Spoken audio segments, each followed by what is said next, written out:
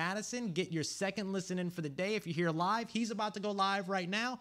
If you're catching it later, you can head over and catch the uh, the the pre-recorded version or the, the version that's still up across all your favorite podcast feeds. Go and check him out, and I'll see you tomorrow. Appreciate you as always, making Locked On Saints all your everydayers out there your first listen of the day. As always, I appreciate you so much for making us a part of your day, part of your routine. As always, if you need anything else around your New Orleans Saints in between these episodes, make sure you follow me on your favorite social media at Ross Jackson N O L A. Hit me up. Let me know how the family's doing. Let me know how you're living. Let me know how your mom and them. And trust you, that nation.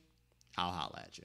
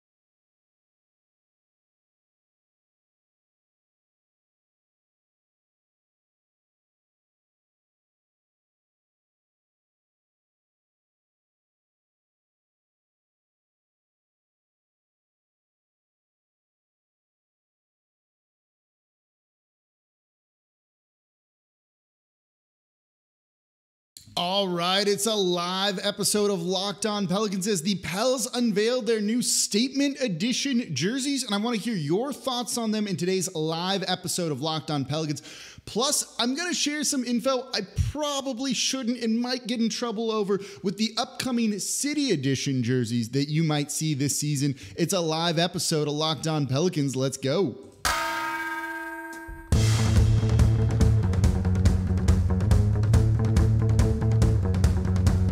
Are Locked On Pelicans, your daily New Orleans Pelicans podcast, part of the Locked On Podcast Network.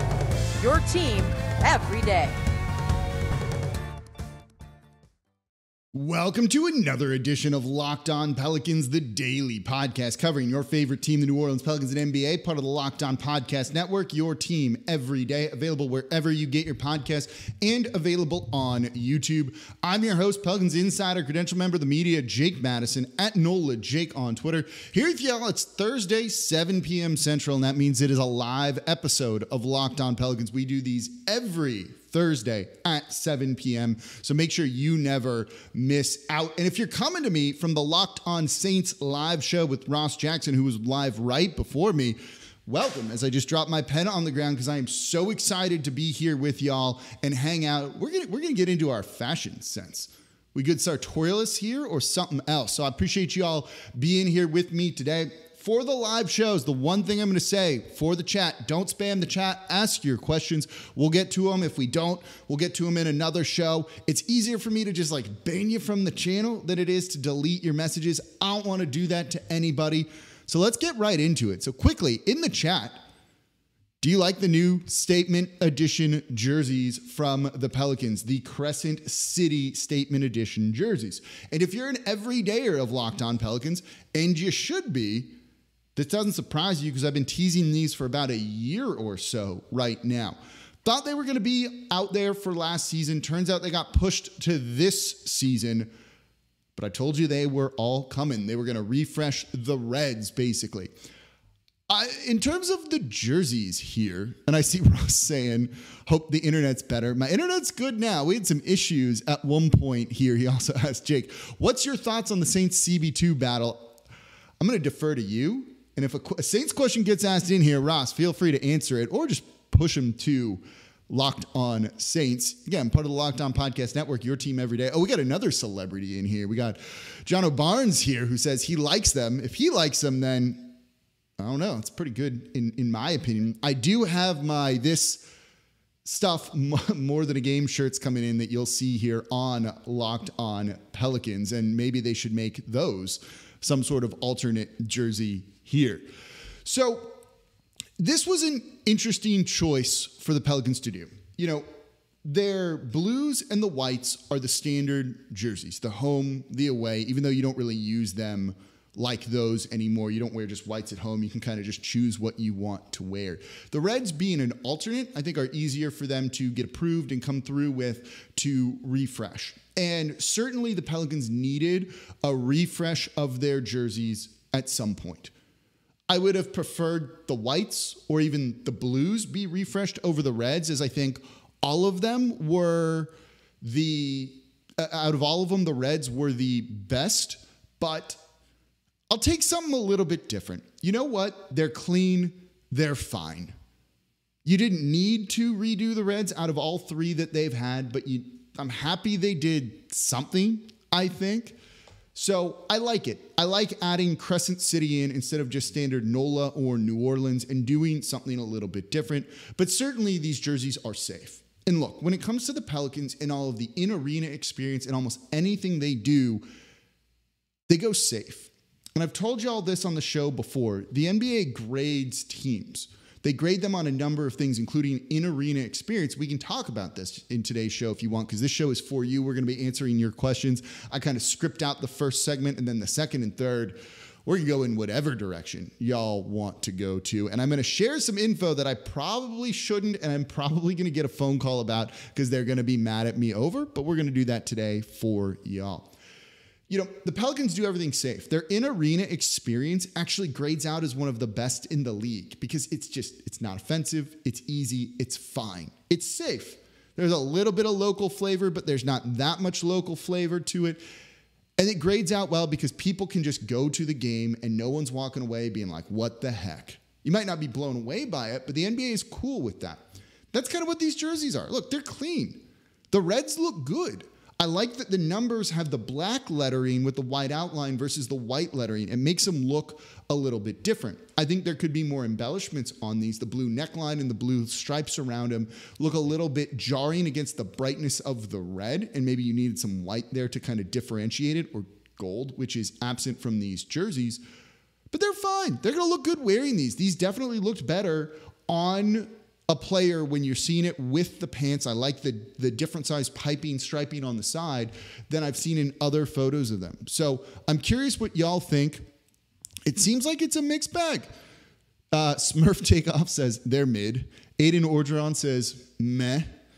Um, we've seen a couple of people. Mark Aber says they're not much of a statement. Energy Slayer says they're all right. See a number of you saying every day are here, which I also love seeing. YouTube, literally the letter U and then tube. The red and blue together is such a bad mix. I agree with that. Um, we got people in from Japan here, in from Australia. This is a lot of fun here. Benoit Robinson says, You can't get in trouble, Jake. We'll back you up. Thank you. I'm sure y'all will take that bullet on the phone call that I'm going to get in the next segment when we, we're not going to fully spoil some things, but we're going to spoil some things. Um, Kevin Byer says the design does not entice an average fan to purchase. Design needs more wide appeal. You know, I think I think that's true and not. Like I think it's fine. They're new. People will definitely buy them, and I don't think they look bad. It's just, as someone said, they're not much of a statement, right? But they're good. Um, someone says the promo video is nice, very nice. I agree with that. I love what they're doing with a lot of the promo stuff and everything else that they're doing um, to kind of add just a more NOLA flavor, a more NOLA vibe to what they've got going on here. Their production team, the people that work social media for them too, are often unsung heroes, and they all do a really good job. I think the editing's great. I think a lot of the ideas are great. Even if like showing a bunch of croissants was at times like, come on. But in general, I kind of dig it. And, you know, I think you could have taken these in a different direction. The Brown Hornet says the jersey is okay, but I definitely prefer seeing Crescent City on the jersey over NOLA. I, I, agree with that. I think if you had put Crescent City and done it a little bit more fun, like the kind of wording and font that they have in that promo video, in the images that they've released, kind of as the background stuff, would have worked really well and given them that kind of just flavor edge is maybe the right word uh, that people would have liked to have seen.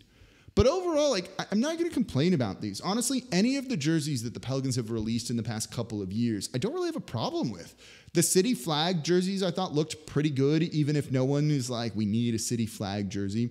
The Nola with the chevron on the white was awesome, and we want to see more of those.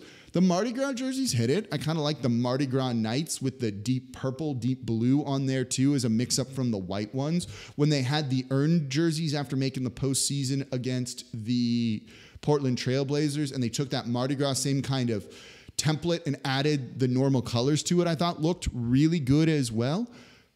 So it works. You know, I see a lot of y'all saying a, a purple and gold or a black and gold would look cool. I'll tell you this, and we'll get into this coming up here next, and then we'll also take your questions and keep reading your comments out here on the live show. The next jerseys are going to be a little bit different, but that's actually going to be case the case for the NBA as a whole. There's kind of a theme coming around things, and I'll share some of that coming up here next in today's episode of Locked On Pelicans.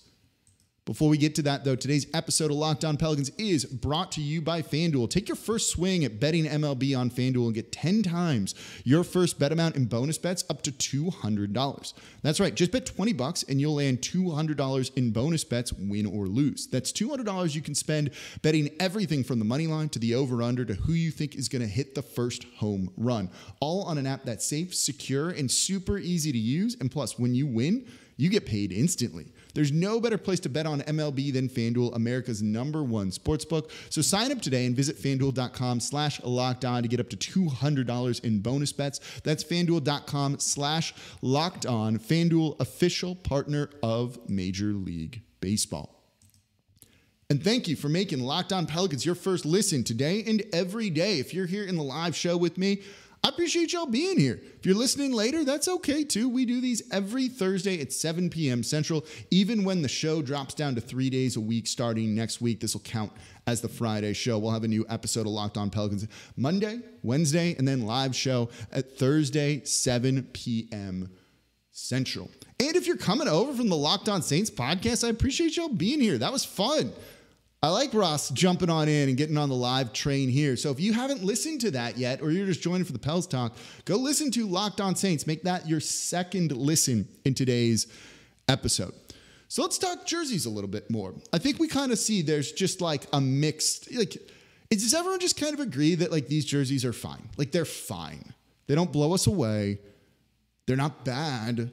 I just wanted, we just kind of wanted something different, right? I feel like that's kind of what everyone really wants. We just want something different here.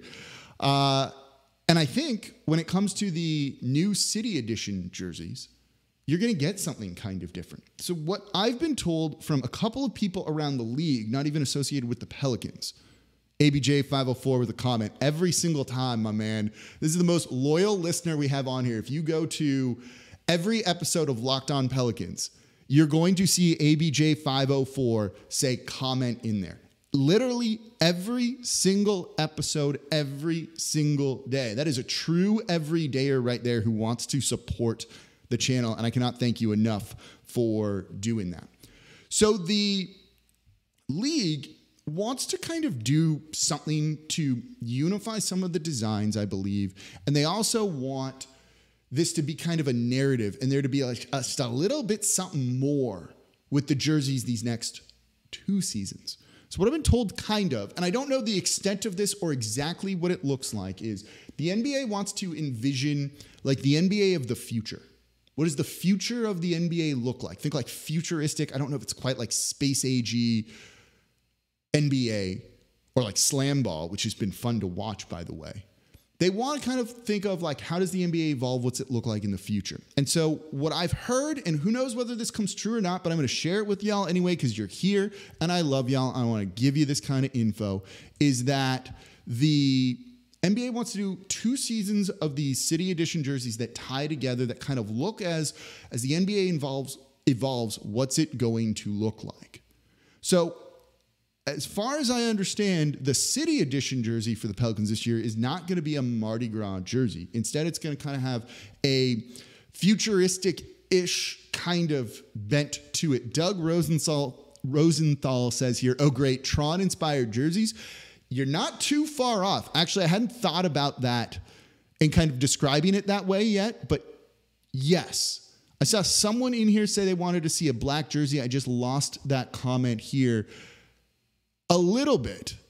A little bit. I do think it's going to be dark. There's some other things to it. I've actually seen a mock up of it here. And it's going to be very different than anything the Pelicans have done before. And I don't know if it's going to be the most like New Orleans looking thing to you based off what I've seen and things change. So don't for sure hold me to this. But this does seem to be pretty accurate, especially from talking to people around the league. There may be a gradient to it along those lines too. So that's what I think is coming. And this is a two year process. So these jerseys are here, I think, for one year, and then it kind of evolves to another version of that jersey. So you get a narrative over two seasons when it comes to all of this. And I believe that's what it's going to do. You know, I've seen a couple people here in the chat say, let me ask you this. Do you want to see a black and gold Pelicans jersey? Do you want to see kind of a Saints inspired Pelicans jersey? Aramis Jones says, I thought they were going to do a black and gold embroidered.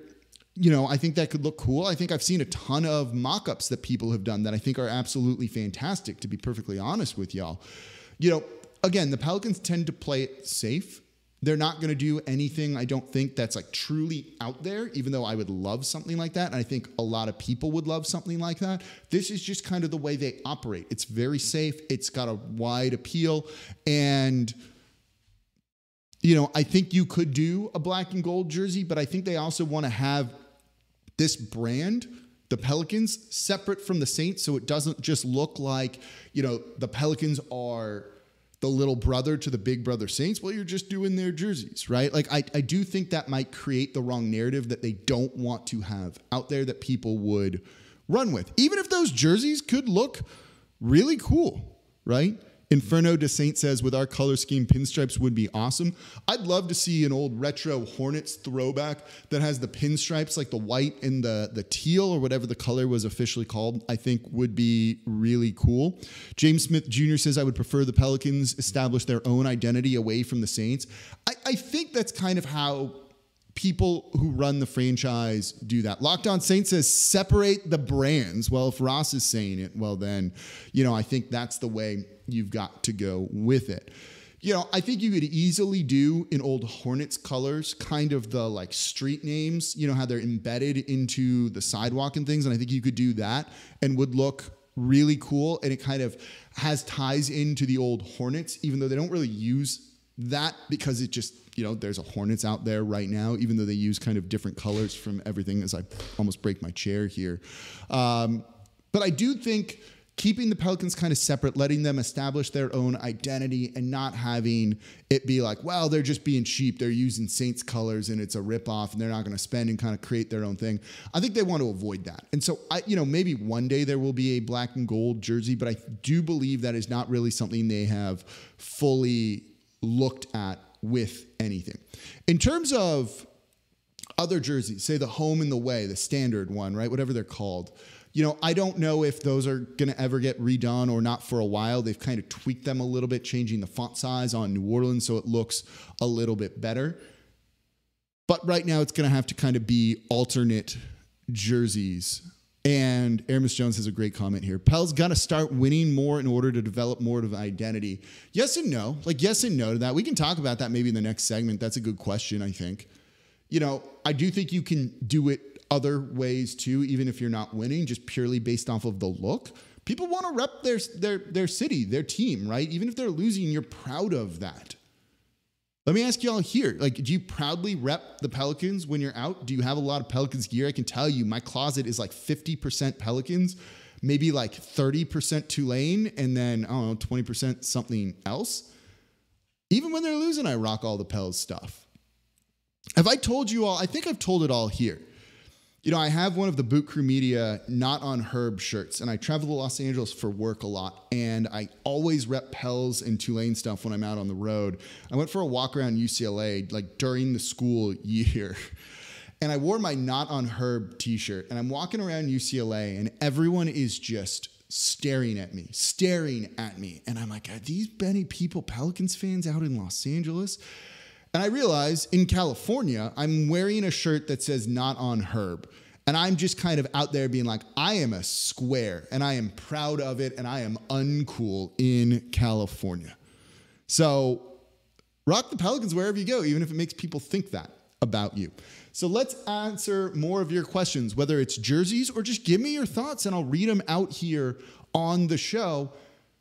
If you got questions about on court stuff, we can talk about that. Trades, other things too. I see someone talking about the USFL New Orleans Breakers looks good, and it's like a silver seafoam green and baby blue. Voice of reason. Yeah, I, I like that. I do think those actually look pretty good here. So let's keep talking your questions, whether it's your fashion sense or whatever it is. Have you ever been as uncool as I was wearing a not on herb t-shirt like I did that one day? Because I feel mortified after doing that one and just wanted to like go away and never be seen in public again. So let's let's talk more coming up here next in today's episode of Locked On Pelicans.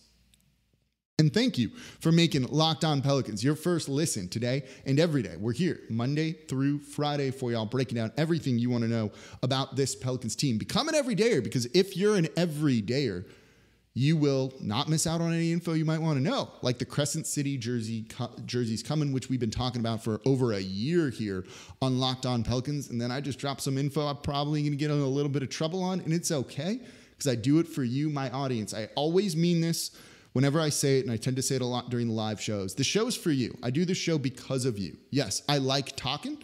I like talking about the team, but we do these live shows so that I can interact with y'all.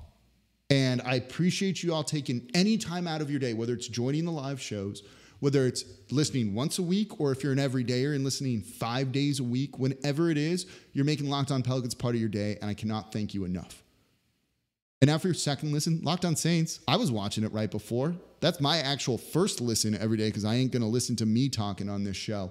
So make sure you go check out Ross Jackson and the Locked On Saints podcast after you listen to this one.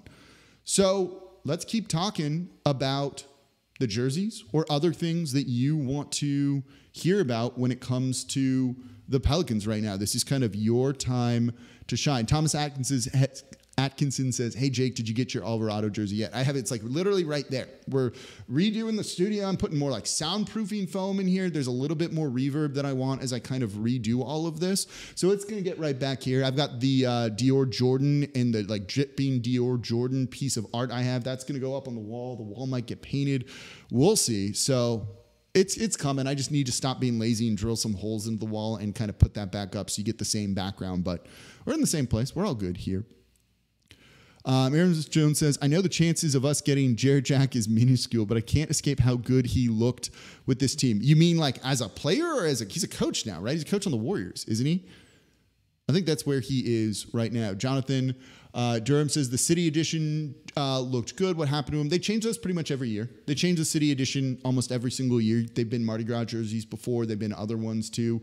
Uh, that's what they do. Those get a a new one pretty much every single year. Denny Roman says put his eye on one too. Behind me, the the Jose one is game worn. Jose one is game worn. So that one's going to get displayed prominently. Honestly, he's like one of my favorite two, three players on the team just because he's so much fun. Matt Harrison says, Did you see Jose isn't playing with Puerto Rico? I did. And I saw Andrew Lopez of ESPN had tweeted out saying the team asked him not to since he's recovering from the injury and they want to make sure that he's ready for the season. I it sucks for him because I know how much that matters to him. And I know we were all looking forward to the duel because it might have been a duel between him and Brandon Ingram in FIBA. So that would have been a lot of fun with it all. And I'm, I'm disappointed we're not going to see that. And I also do think playing in FIBA and playing for your national team kind of iron sharpens iron, as we talked about earlier this week, was a good thing. But I also want guys to be healthy to start the season here. Um, what's the where did the other question go? More than the jerseys, I wonder why we chose the name Pelicans. Do you know the story? I mean, it's the state bird. You had the old baseball team, minor league team here that was the Pelicans. It made a lot of sense. They looked at some other names. They trademarked a number of other things, including Rougarou, which would have been really cool. And how cool would like a swamp Rougarou, swamp monster alligator uh, theme be for jerseys. That would be so awesome. I would buy those so quickly. I think most people would too, especially when you have like the voodoo low, uh, Jordan 1 lows that Zion did too. You can kind of theme it out with all of that. Like, I don't, I get that like people around the country are going to be like swamp themed jerseys. And I think it would be so like so badass to be perfectly honest. Um, Eris Jones says I meant Jarrett uh, Jarrett Allen, but Jarrett Jack is a throwback. You said Jarrett Jack, right? Like I didn't mis misread that, did I? And I just went on a tangent about Jarrett Jack, who, oh man, they traded for they traded for him thinking he would get Chris Paul to stay here. Ooh. Uh, that was a, a, a, thing here. Melvin McCraney Jr. says, What up, Jake? I'm an everydayer. Just don't type comment. Just listen to the show. Enjoy listening to the show. That works too. If you want to be an everydayer and listen, look, if you listen once a week, I'm thrilled about that. You want to listen from one day a week to two days a week? That's cool too. I appreciate you all but I really appreciate the everydayers. That's why we do this show. And so it's awesome that you're listening in and tuning in. So I appreciate y'all making Locked On Pelicans part of your day. Okay, let's get into this one. Michael de Blasio. How much of a problem do you think Zion's stepfather is to him in the grand scheme of things? This probably needs to be its own show. And, and I struggle with this one a little bit. You know, I, I struggle with this one a little bit because, look, I'm not Zion. I don't know his life having grown up, right? We know kind of what's been reported and what's out there and what we kind of assume. You know, I, I don't want to say his stepfather's a bad influence or anything like that because Zion might not be where he is without Lee Anderson, his stepfather. You know, and without having kind of lived that experience, I, I don't want to talk negatively about someone that I don't know enough about or know specifics about. And that would be the entirely wrong thing to do here. And I don't want to be hot takey or anything like that. I've seen the stuff about the $1.8 million lawsuit. You know, I've seen what it alleges there about Lee Anderson. I don't know. I don't know. You know, Lee played college basketball for Clemson, though he doesn't have a particularly good statistical record playing for Clemson. You know, he said he could have played in the NBA, but who really knows?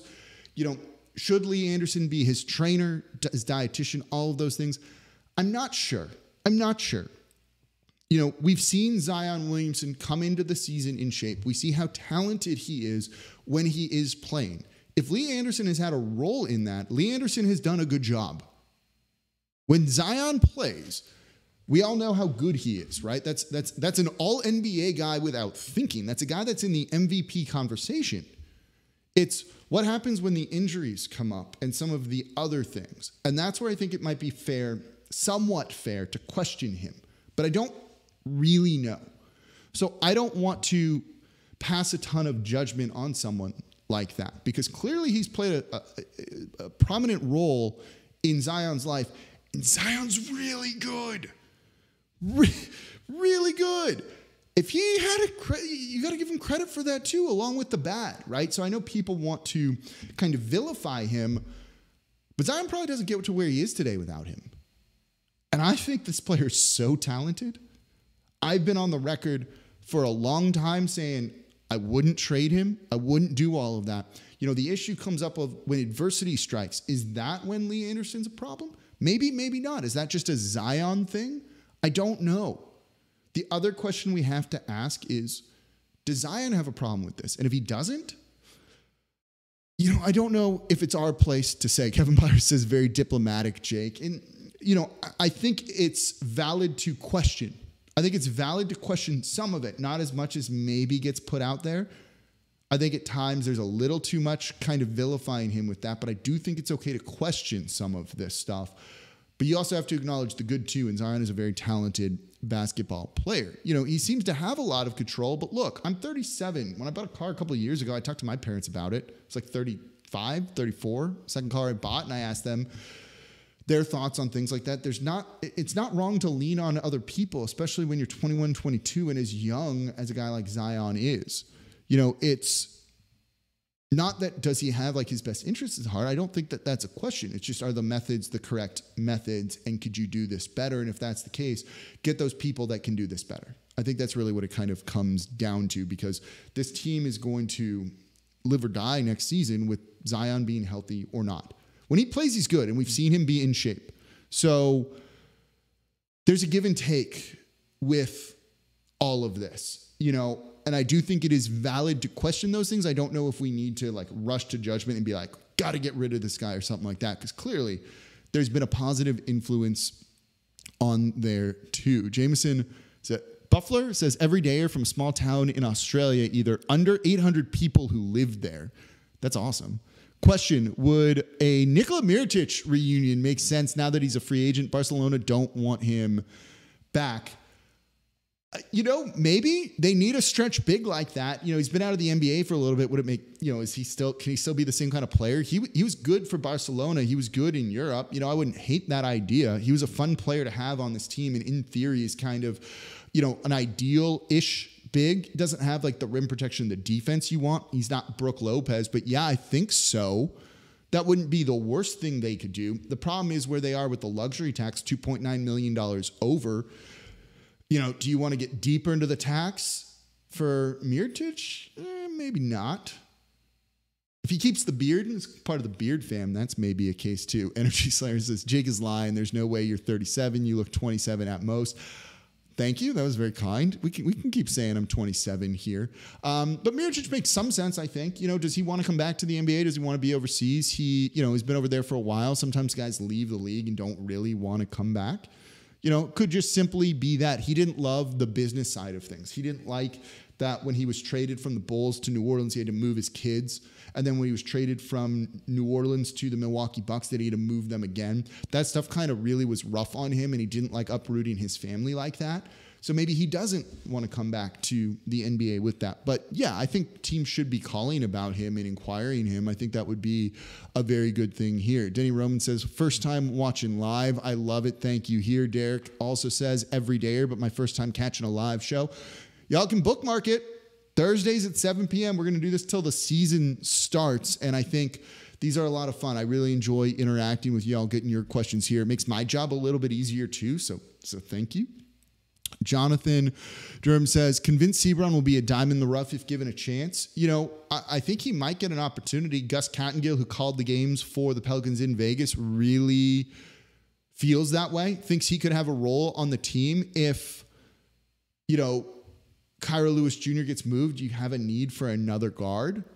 Could be Seabron on that two way. You know, they also have two other two ways, which we'll talk about. I know people have questions about Liam Robbins and others, and I think those are people they're going to be looking at for two ways. There's just not a ton to really get into with some of that stuff just yet. Matt Harrison says if Zion is injured next season and Embiid asks out, would you trade him then? Like, yeah, that's an easy one. Like, yeah, if you could get Embiid for Zion after an injury season for Zion, like, sure, I think you do that easily. Uh, Noel G says, Jake, Mr. Everydayer here. I love it. What is your starting five and top five reserves? Uh, we'll, we'll do that a little bit closer to the season. I mean, you know what the starting five is. It's essentially the same starting five as last year. The question is, will Trey Murphy be in there or not? Let's assume no for right now. So then your reserves are Trey, Jose, Nance, Liddell, Naji, probably something like that. I'm probably missing a player. Or Dyson Daniels is in there somewhere, probably over Naji. I think that's what it would end up being. We'll do a show on Joel Embiid. So the plan for the off season is this. We're going to drop to three days a week next week. Mondays are going to be countdown days, top five days, top 10 days, top five players in franchise history, top five worst players in franchise history, top five most annoying players in franchise history, anything like that. If you got a countdown one you want to hear, let me know and it might get used on the show. And I'm going to be curious to give you my list and see what y'all think too. Wednesdays are going to be what if Wednesdays. What if Zion is healthy all season? What if Zion is hurt and doesn't play much next season? What if they win the title? What if they make, you know, miss the playoffs? And then Thursdays are going to be the live shows at 7 p.m. Central. So we'll keep going here for a little bit longer. Irmus Jones says, Do you think there's any chance we could get Tyus Jones out of Washington? Like, yeah, I think everyone could. You know, I think that's it's a good backup guard, right? Spot starter for you at times. I don't know if they really need that type of player. Again, you know, they, they don't have a true point outside maybe like Jose Alvarado, kind of, because they have so many additional other ball handlers that I don't think they're looking to do that. It's kind of ball handling by committee, I think. So Tyus Jones would work. Does he have the right role on this team? Maybe with the second unit, or do they want to kind of give that role to Dyson Daniels, who was doing those sorts of things? IM says think it's time for Gayle Benson to go. I actually just did kind of a show on this. If Gayle Benson goes, this team probably gets moved. Right now, today, if Gayle Benson goes and they get a new owner tomorrow, this team probably gets moved. They don't, they don't have a long term lease or reason, you know, things that tie them here. Now, there's other people that will prevent that from happening, people, you know, around ownership. But, you know, if you want another owner, long term lease has to happen first, I think, with all of that. Um, Smurf Takeoff says top five fan favorites. Yeah. Energy Slayers says Eric Gordon is number one and most hated and probably most annoying. I think um, he's going to top a couple of lists there too. I have some, I have some weird ones for like least favorite Pelicans Hornets that weren't like actually bad, just players for whatever reason who annoyed me. So we're gonna have some fun with that list because everyone's like Gordon's gonna top a lot of those. Then it gets like weird. And I got some weird and kind of funny reasoning for there. Remember Brian Roberts? Like that dude on my like least favorite players is up there, but not for the reasons you think. And I'll tell you on that episode of Locked On Pelicans when we get there. So that's where we're going to wrap up for today. We've gone like 30 something minutes here. So I appreciate y'all making Locked On Pelicans part of the day. If you came over from the live Locked On Saints show, maybe we'll plan these out a little bit more and have fun like this, where we do one, then the other, and you get an hour of the talk that you want to hear exclusively part of the Locked On Podcast Network, your team every day. No one else is giving you the jersey info like this. And Ross Jackson of Locked On Saints is just Man, he dude's the best at breaking down everything. He's at training camp, dealing with the heat and everything there too. So after listening to Locked On Pelicans, if you haven't listened to Locked On Saints, go make that your second listen today. And I just love y'all. Thanks for being here with me. This was a lot of fun.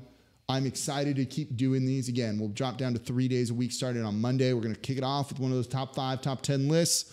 So let me know what your lists are too. If you got topics for the show, let me know as well. And as always, I'm your host, Jake Madison, at NOLA Jake on Twitter. And I'll see y'all on Monday. Thanks for being part of the live show.